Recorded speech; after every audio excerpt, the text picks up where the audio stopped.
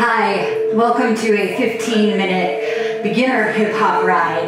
We're gonna start in the saddle right here. Go ahead and add some resistance to the wheel, that beautiful knob right in between your legs. That's gonna create your ride. So we turn it to the right to increase your resistance, to the left to take it down. Don't worry about your lead leg. We're just gonna pedal right here. You're at 80 RPMs. I want you to take a deep breath in, bring your shoulders all the way up to your ears.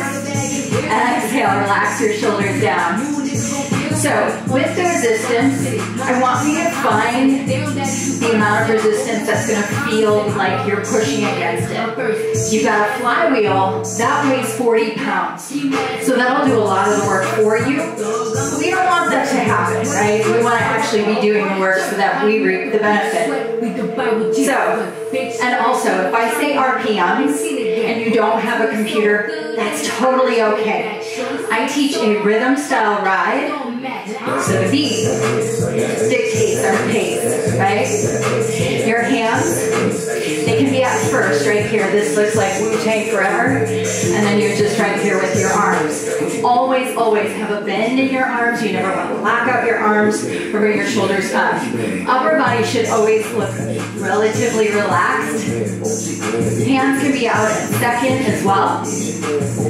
Just know that you're not going to reach all the way out here ever if you're in the saddle. It's not really great on your low back. Let's add a little bit more resistance. So we start to feel our legs getting warm. We start to get a little bit breathless too, right? Know that any ride, you can stay in the saddle the entire time if that feels better for you, okay? And then also, you can take any of my classes and just modify as you need, okay? If you want to cut out choreography, if you don't want to go as fast as I'm going, you can modify, right? So, don't ever feel like you're limited, although I do recommend the beginner rides, So then you kind of know what I'm talking about and what I'm referencing. It'll be easier to follow along. Okay, little more resistance right here. You want your butt all the way at the widest portion of the saddle. If you haven't found that yet, that's going to be the most comfortable place in the saddle. Mirror is here for your reference, so you can see whether or not I'm in or out of the saddle. And I think that that's everything. So, I'm gonna see, let's play with this a little bit. We're gonna see how it feels coming out of the saddle, okay? And if it feels like it's uncomfortable for you, just go ahead and sit back down. But you wanna make sure, always, that you have enough resistance so that you're supported when you lift up. So we add a little bit more. We're gonna lift. Three, two, one, rest. Good. And you're just right here. Now, as a beginner, I would be really surprised if you were able just to get that jog right away. Right?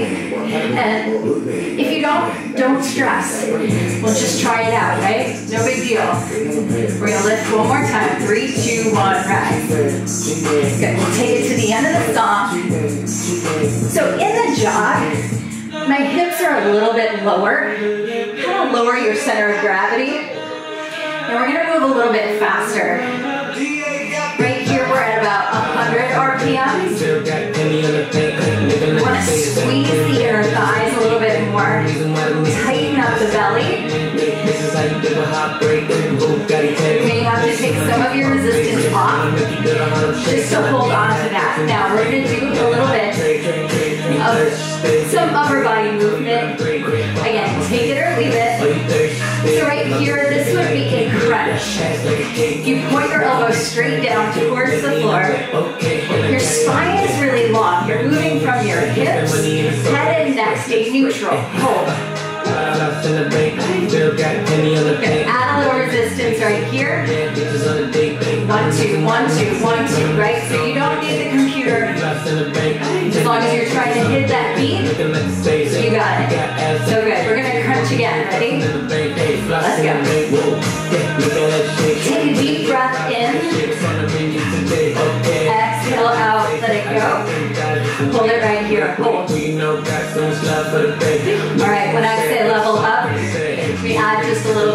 You add enough always so that you feel change. Okay? And if ever I ask you to add resistance, and you're like, oh, shit, now I can't hit the beat anymore, take it off. Okay? Your goal is always to try and hit the rhythm. This is rhythm ride, right? Let's crunch. Here we go. Hey. Your collarbones are wide, right? So open up your chest, pull your abs in, pull your ribs in just a little bit. Good. Four, three, two. Hold it right here. Rise. One more turn on that resistance. Now you're starting to feel pretty warm, right? Last set of crunches, straight down. And maybe you go just a little bit deeper. You should start to feel that burn in the back of your arms. You feel that means you're doing it right. Good. Keep it going. Give me four, three, two. So good. All right. Let's add some resistance right here. Also, don't wait for me to tell you to drink water. I'm usually just focused on instructing. So if you need to hydrate, please do. I'm gonna mention lead leg. You're not ready for that, let it go. So, right leg is the lead leg on the song.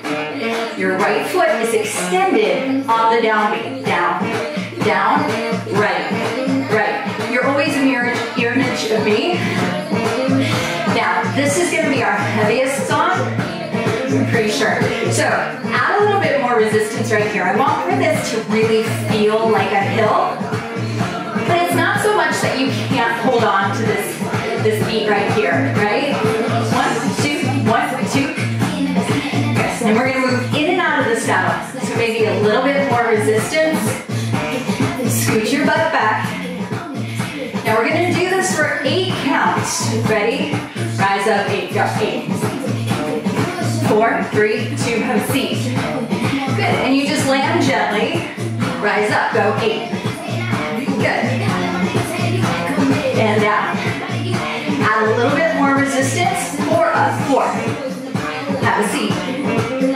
Good. Now you feel the different muscles working as you move in and out of the saddle, right?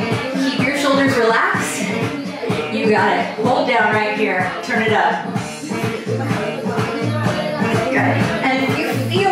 Moving faster than the beat, you definitely need more resistance, okay? We're gonna start again from eight counts out of the saddle in four, three, two, rise. Have a seat. Once you start to get it, I really want to encourage you just to kind of dance a little bit, right? Lose your inhibitions.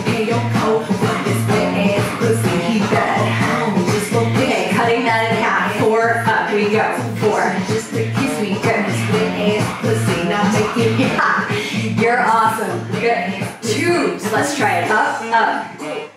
Up, up. Four more. Now you see I've got the resistance. I don't feel like my feet are going faster underneath me. Hold. Good, right here. Now we're gonna do a little bit of a push. So we're gonna add some resistance, and then we're gonna try and go ahead of the beat. A little bit harder if you can, right here.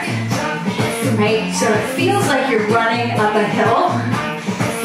It's an interval. High intensity interval, that's what we're looking for.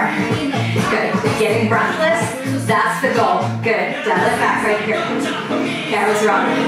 We do have a second song on this hill.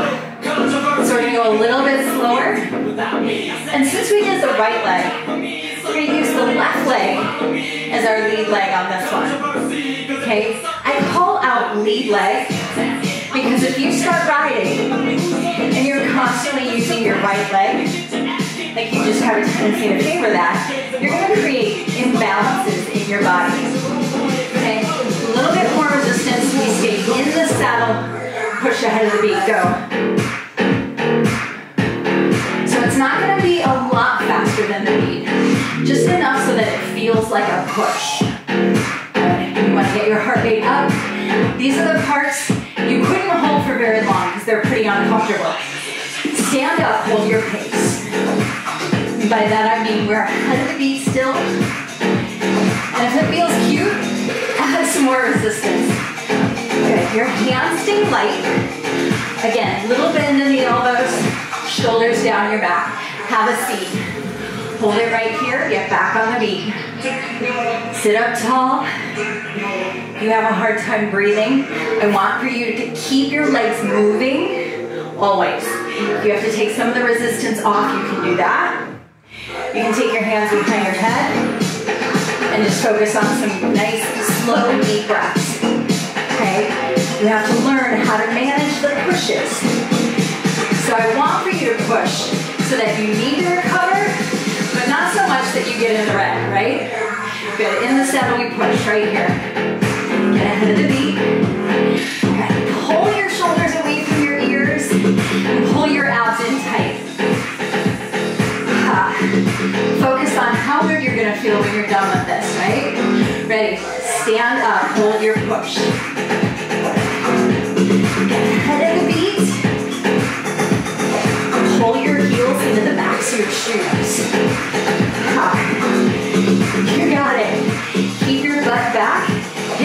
Over the saddle. Sit down, push. You're halfway through. Maybe like, wow, this is a long one. Keep it going. You want to be breathless. When you get into a high intensity interval, for the rest of the day, you're burning more fuel. Rise up.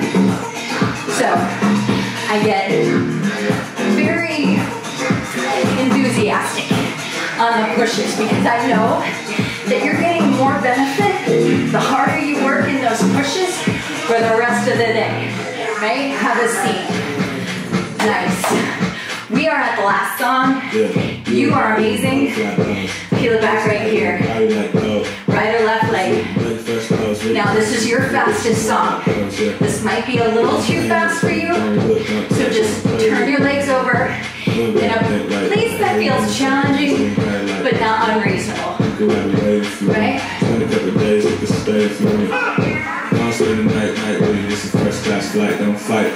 So this is your flat row. Good. And then we push ahead of the beat right here. So this would be your sprint. Never at zero resistance. You have at least two turns. Feel the substance. Back on the beat, go. You remind me of suicide dogs. Free face with a body like whoa. Okay, we're gonna do push-ups, elbows wide. Here we go. Just like your crunch, but now we're working our chest a little bit more. Yeah. Now we crunch, take it down.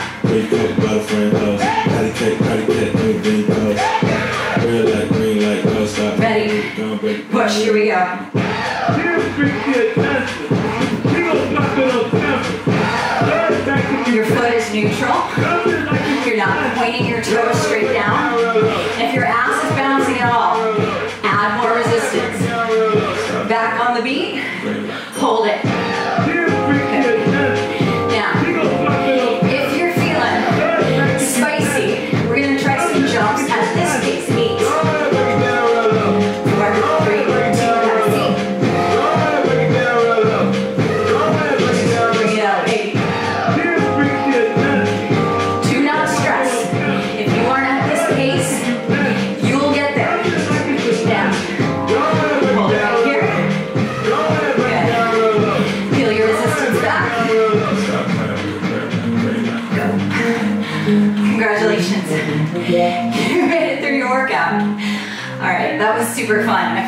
that really fast. So, you take all of your resistance off.